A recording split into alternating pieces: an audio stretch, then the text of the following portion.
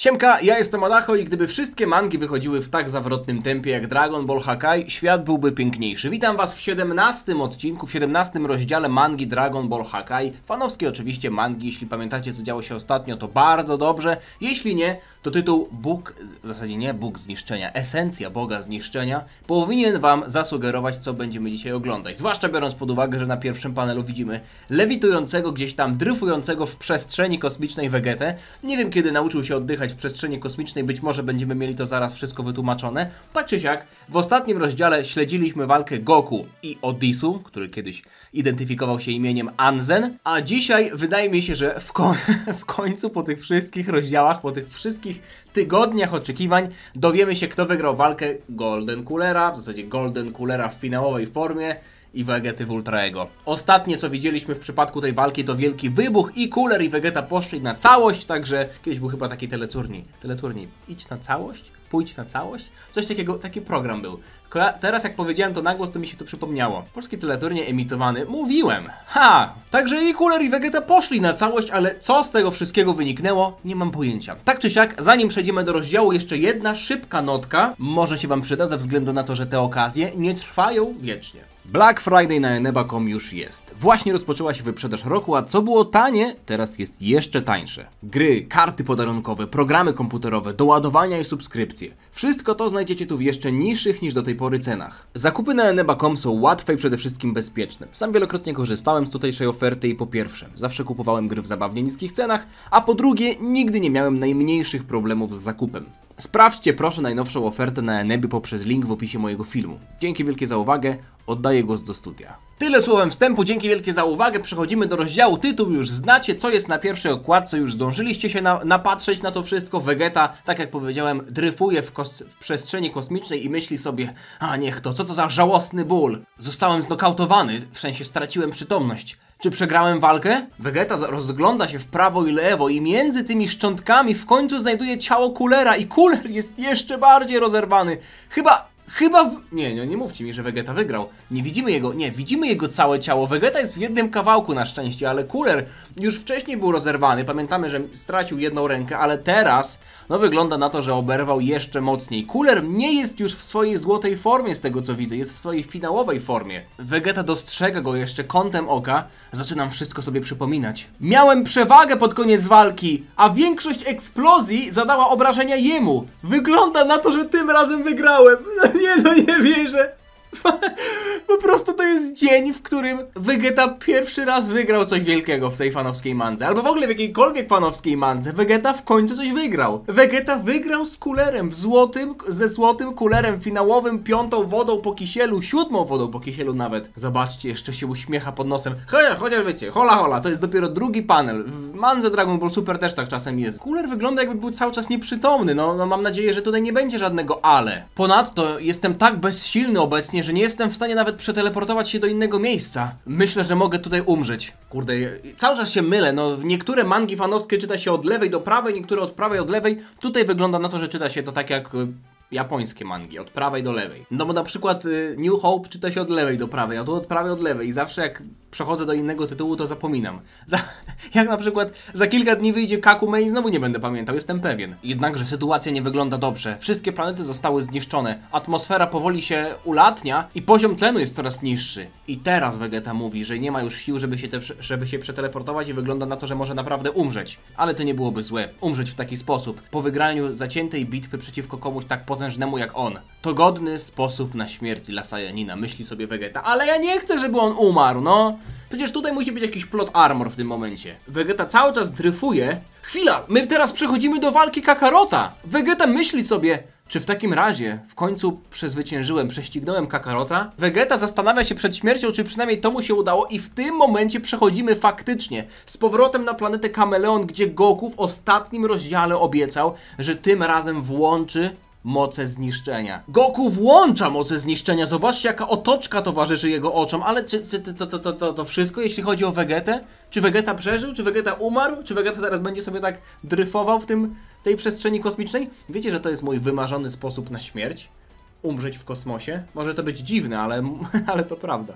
Wiele razy o tym myślałem. Chciałbym umrzeć na przykład gdzieś wysłany w jakąś samotną misję do galaktyki Andromedy na przykład i zobaczyć inne światy i nawet nie musieć tego nikomu nigdy powiedzieć, ale po prostu zjednoczony z naturą. Wróćmy trochę do może bardziej przyziemnych tematów. O, chociaż czy jest to na pewno przyziemny temat, skoro nie jesteśmy na Ziemi, tylko na planecie Kameleon? Nie wiem. Tak czy siak, Anzen i Goku kontynuują swoje starcie. Anzen, w zasadzie Odysseus, spogląda na transformującego się Goku i myśli sobie, wygląda trochę inaczej niż myślałem, że będzie wyglądał. Dlaczego jego wło... O, o, to jego włosy nie są żółte, to nie jest zwykły Super Saiyanin. Dlaczego jego aura jest fioletowa, tak jak Boga zniszczenia, ale jego włosy są białe, jak anioła. Czy on właśnie zaczął kalibrować swoją moc? Łączy Ultra Instynkt i energię zniszczenia? Wow! Nie myślałem, że to jest Ultra Instynkt, myślałem, że Goku po prostu załączył Super Saiyanina, włączając przy okazji swoje moce zniszczenia, bo do tej pory korzystał, w sensie w poprzednim rozdziale, korzystał ze swoich śmiertelnych mocy, śmiertelnych transformacji. Teraz Goku łączy moce zniszczenia i Ultra Instynkt. O, ja pierdolę. O, ale będę miał tytuł odcinka. Wow! Mamy chyba teraz retrospekcję. Tak, kilka dni temu na planecie zniszczenia w szóstym wszechświecie.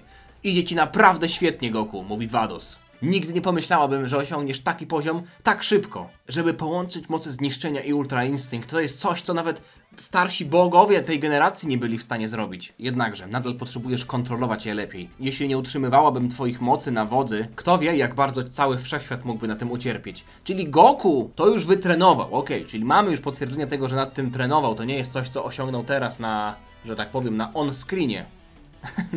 Osiągnął to na off-screenie, chociaż tak naprawdę widzimy to tutaj w retrospekcji. To prawda, że nawet ja nie wiem, co się właśnie stało, pani Wados. To było tak szybkie. Czułem tylko niesamowicie wielki przepływ energii przez całe moje ciało. Jednocześnie czułem się apatyczny, jakby nic innego się nie liczyło. I również czułem się spokojnie, tak jak wtedy, gdy używam Ultra Instynktu. Mimo tego, że pożądałem zniszczenia, niczego tak naprawdę nie zniszczyłem. Pani Wados, jak powinienem używać jednocześnie mocy zniszczenia i Ultra Instynktu? Te moce powinny być ze sobą przeciwstawne ze względu na to, że Ultra Instynkt polega na spokoju ducha, a moc zniszczenia opiera się na destruktywnych myślach. Jestem, jestem ciekaw, jak to zostanie wytłumaczone, no bo jakby Goku teraz ma rację, prawda? W Ultra Instynkcie trzeba opróżnić swoje serce, chociaż tak naprawdę w True Ultra Instynkcie, czyli w tym Omenie, który ostatnio Goku używał w Mandze, tak naprawdę był to Ultra Instynkt Omen, czyli był to Ultra Instynkt, ale Goku mógł go używać z emocjami. Czyli teoretycznie, gdybym miał emocje prowadzące go do zniszczenia, to nadal mógłby połączyć te moce zniszczenia, gdyby je potrafił oczywiście. To jest wielki, wielka gwiazdka w tym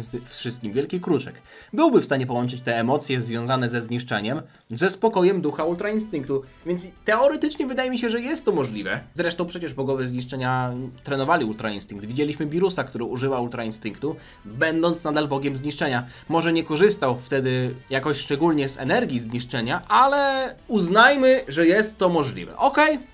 Okej. Okay. Panie Goku, już panu to tłumaczyłem. Mimo tego, że pierwszymi krokami do tego, żeby nauczyć się Hakai i kontrolować energię zniszczenia, jest to, żeby czuć negatywne emocje, to nie jest do końca esencja. Esencja Boga zniszczenia, nagle zastanawia się Goku. Słyszałem, że mówiłaś już o tym wcześniej. Mogłabyś mi powiedzieć, czym do końca jest ta esencja? Esencja Boga zniszczenia, nagle mówi Vados, jest balansem. Goku wypytuje o dodatkowe wytłumaczenia. Przede wszystkim, praca Boga zniszczenia polega na balansie. Polega na zrozumieniu naturalnego cyklu wszechświata i roli Boga zniszczenia, która ma się w tym cyklu znaleźć. Kiedy Bóg zniszczenia niszczy coś, co rani wszechświat, nie powinien on czuć nienawiści ani czuć się czuć żalu w związku z tym, że to zniszczył. Powinien skupić się jedynie na destrukcji, w neutralny sposób. Jako, że niezbędnym dla wszechświata jest to, żeby personalne uczucia pozostały zachowane na wodzy. I spróbuj zobaczyć, czy przypadkiem nie jest to podobne do neutralności, której wymaga ultra instynkt. Okej, okay, czyli tutaj to jest rozwiązane w taki sposób, że i bogowie zniszczenia, i aniołowie są w jakimś stopniu neutralni. Nie mają emocji w tym, co robią. Co prawda, Bóg zniszczenia jest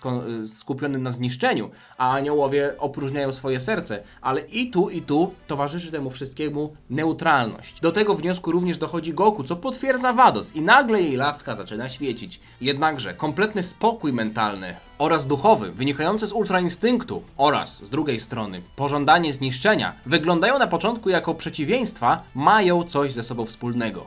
Czystość. Oba te przypadki wymagają tego, żeby wyłączyć swoje uczucia. Im bliżej będziesz w stanie znaleźć się tego stanu czystości i im bardziej stłumisz swoje emocje, tym lepiej będziesz w stanie dominować swoje moce. Zrozum, że są to dwie strony tego samego medalu. Kiedy osiągniesz ten balans, możesz dotrzeć do neutralności łączącej te dwie moce, nawet jeśli wyglądają jako moce przeciwne. Wtedy będziesz w stanie użyć transformacji, której właśnie użyłeś. Ja pierniczę, Wados tutaj po prostu tak to tłumaczy, że może zaraz ja połączę jakieś mo moce Boga zniszczenia. Kto to wie? No, no, no, ja, ja jestem dobrym słuchaczem. Ja jestem dobrym słuchaczem. Wiecie na, na ilu wykładach byłem w życiu? Nawet w zeszłym roku, już dawno po zakończeniu studiów, po prostu pojechałem sobie, mówiłem wam o tym? Nie pojechałem sobie na moją starą uczelnię i poszedłem na wykład. I spotkałem tam, e, spotkałem tam kumpla, którym poszedłem potem zjeść, ale praktycznie później cały ten dzień chodziłem z nim na zajęcia. Miał zajęcia u kilku wykładowców, u których ja miałem zajęcia, bo, bo studiuję ten sam, nie wiem, chyba już studiował ten sam kierunek co ja. Na wykłady może sobie przychodzić każdy, prawda? Także Także tak. Innymi słowy, im bardziej od, odczepisz się od swoich własnych uczuć i wyczyścisz swój umysł, tym bardziej będziesz w stanie używać tych mocy w kompletnej harmonii. Koniec prezentacji PowerPointa. Wados wyłącza tego ludzika. Musisz zrozumieć potrzebę zniszczenia swojego celu i to przełożyć nad swoje uczucia. To jest esencja Boga zniszczenia. W tym samym czasie musisz wyłączyć swój umysł i pozwolić swojemu ciału poruszać się samoistnie. No ja pierniczę, ty. Pamiętacie w ogóle jak Ultra Instinct pierwszy raz się pokazał w anime i była tylko angielska wersja i mieliśmy Migatte no Gokui, co w dosłownym tłumaczeniu przetłumaczyłem jako sztuka samodzielnego ruchu. Powinniśmy tak to mówić. Powinniśmy tak to nazywać. Żaden ultra instynkt. Sztuka samodzielnego ruchu. Tak to się nazywało? Możesz sprawdzić. O ruchu. O chuj. Goku i jego sztuka samodzielnego ruchu. Kiedy to było wrzucone? 7 października 2017. sztuka samodzielnego ruchu. To jest chyba hit. Pani Wados, ale czy to oznacza, że muszę zostać tak neutralny jak pan Birus i pan Whis? Jeśli nie będę dbał o to, co robię i będę niszczył rzeczy, to będzie ta neutralność? Ale czy to przypadkiem nie będzie oznaczać, że stałem się apatyczny i straciłem moje człowieczeństwo? Martwi się nagle Goku, ale Wados mu mówi: Panie Goku, już dawno nie jesteś człowiekiem. Jesteś bogiem zniszczenia. I wracamy sobie do sytuacji, w której Anzen zaczyna się power upować. Nie, to Goku dalej jest, to jest dalej Goku, przecież to jest jego strój, halo, ale przestał wyglądać jak Goku. Goku zaczyna faktycznie włączać tę formę, o której cały czas rozmawialiśmy. To jest prawdziwa demonstracja mocy Boga Zniszczenia. Warta mojej uwagi, wygląda na to, że w końcu rozpoczniemy prawdziwą bitwę. Bądź gotowy, Odisu! Nagle Goku wyskakuje, nawet nie zobaczyliśmy jego wiecie, pozycji bojowej, jego standa po prostu, po, po prostu wyskakuje w stronę Odisu i mówi Gotuj się! Teraz będziesz walczył z Goku, bogiem zniszczenia szóstego wszechświata. To było szybkie, myśli sobie Odisu, koński z Wisu. I również silne myśli sobie Odisu po tym, jak przyjmuje pierwszy cios Goku. Serpentyny dosłownie tutaj wiążą jakieś wianki w powietrzu, zarówno jeden, jak i drugi. Kiedy mają się zderzyć po raz kolejny, Odisu nagle znika, co szokuje Goku. Odisu, lider niebieskich magów, pojawia się za bogiem zniszczenia Goku, który tutaj wygląda tak, jakby miał trochę inną fryzurkę. To nie jest do końca Super Saiyanin, ale to nie jest na pewno Ultra Instinct. Plus ma jeszcze, wiecie, takiego eyelinera pod tym wszystkim. Goku mimo wszystko jest w stanie uniknąć tego ciosu. Mało tego, wyprowadza automatyczną kontrę. Odisu jest zmuszony do zablokowania tego ciosu. Potężne wiązki kis spadają na planetę Kameleon. Również Odisu jest wysłany w dół prosto, prosto w jakąś maczugę Herkulesa, niczym dosłownie z ojcowskiego parku narodowego, jego ruchy są tak płynne i spokojne. Jest również w nich bardzo dużo siły. To efekt tej anielskiej techniki, ultra instynktu. Ale to nie wszystko. Odisu mimo wszystko opanował swoją pozycję. Maczuga Herkulesa będzie stała kolejny dzień. Ale Goku nie ma zamiaru czekać. Leci w stronę naszego przeciwnika z wielką płonącą pięścią, ale kiedy ma zamiar wyprowadzić ten cios, Odisu kolejny raz znika. O ja pierniczę, no i wykrakałem. Po maczudze Herkulesa. Maczudze? Maczu... Maczudze? Gdyby Odisu został złapany w ten atak, nie wyglądałoby to dla niego dobrze. Mimo tego, że jego ruchy są wypełnione spokojem i pogodą ducha, nie ma w nich rządzy zniszczenia. Jego ataki są śmiertelne. Co, to, co za problem? Jaki to ma problem tutaj, y, kolega? Odzywa się nagle Goku. To ty przypadkiem nie prosiłeś o to, żebym pokazał swoje wszystkie karty? No to teraz nie udawaj kurczaka. Żeby walczyć z tak czystym umysłem i balansem, wystarczającym, żeby utrzymać anielską pyrotechnikę i jednocześnie dzierżyć moce zniszczenia, prezentujesz naprawdę więcej niż można było się tego po tobie spodziewać, Goku. Gratulacje. Z tym krótkim pokazem twojej mocy naprawdę zobaczyłem twój prawdziwy potencjał. Przestań gadać, jakbyś był tutaj prawdziwym bohaterem, nagle odzywa się Goku. Nie mam zamiaru brzmieć arogancko, ale wygląda na to, że teraz ja mam przewagę i z tym ciosem, który przed chwilą wyprowadziłem, udowodniłem, że nie jesteś już w przewadze. Ha, naprawdę myślisz, że masz nade mną przewagę? Nagle odpowiada Odisu, który wygląda na to, że jeszcze będzie miał jakiegoś asa z rękawa. Jak to jest możliwe? Nawet nie zacząłem używać moich prawdziwych umiejętności? Co masz na myśli, mówi Goku? Zapomniałeś? Jestem magiem. Jestem w stanie używać czarów jako moich umiejętności. Jeśli tak to ma wyglądać, odpowiada Goku, zacznij używać swoich czarów. Chcę, żebyś poszedł na całość, zanim cię kompletnie zniszczę. Teraz to ja nie wiem, kto ma wygrać, wiecie? Teraz, teraz to ja nie wiem, kto ma y, tutaj przewagę, bo Goku... Ja pierdolę, no pomyślcie sobie, jakby coś takiego było w kanonie. Jakby Goku albo jakakolwiek osoba połączyła moce zniszczenia i ultra instynkt. Nie wiem, na przykład Gogeta jakby się stalił. Ja pierniczę. I jeszcze Odisu koński z Wisu mówi, że nie, nie zaczął używać swoich czarów. Jakbym słyszał Moro dosłownie. No dobrze, to będzie fair, biorąc pod uwagę, że ty spełniłeś moje oczekiwania odnośnie tego, żeby zobaczyć twoją prawdziwą moc. Odisu nagle zmienia się w tornado, w żywe tornado. Pioruny, chmury, tsunami i inne błyskawice pojawiają się na planecie Kameleon w momencie, w którym Odisu zaczyna pokazywać swoją prawdziwą moc. Ale to nie jest chyba coś, co zobaczymy dzisiaj. Chyba, chyba, ponieważ to jest ostatni panel w tym rozdziale, ale pozwól, że pokażę Ci magię wielkiego mędrca elementów.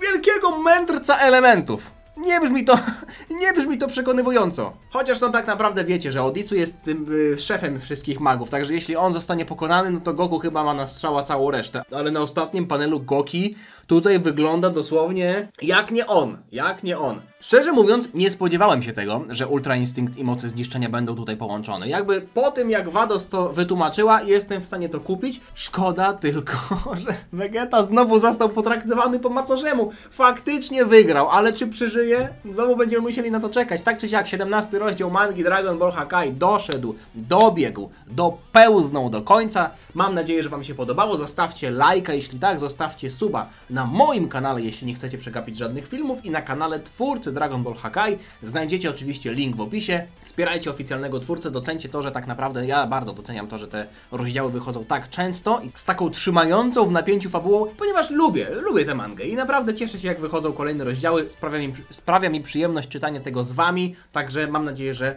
Wam również. Możecie również napisać komentarz i napisać mi, czy będziecie dzisiaj oglądać Mundial, bo ja bym chciał obejrzeć jeszcze przed, y, w zasadzie nie, już wrzucę film i potem to, i potem sobie włączę Mundialeiro. A, Tak to będzie wyglądać dzisiaj u mnie wieczorkiem. Tak czy siak, nie przedłużam, życzę Wam miłego dnia, dużo zdrowia i trzymajcie się. Na razie. Cześć. Dziana.